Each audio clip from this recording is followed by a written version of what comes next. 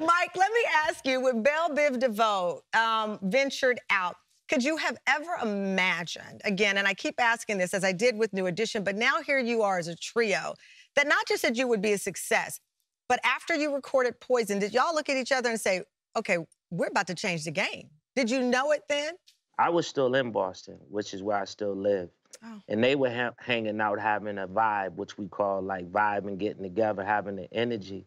And I just remember Ron and Rick calling me on the three way saying, Yo, I got this slogan to our whole movement. And I'm like, Okay, well, what is it? They said it's called hip hop smoothed out on the R&B Beat tip tip. with a pop feel feel to it. Yeah, yeah. I said, So what is that? They said it's mental. Mm-hmm. Yeah.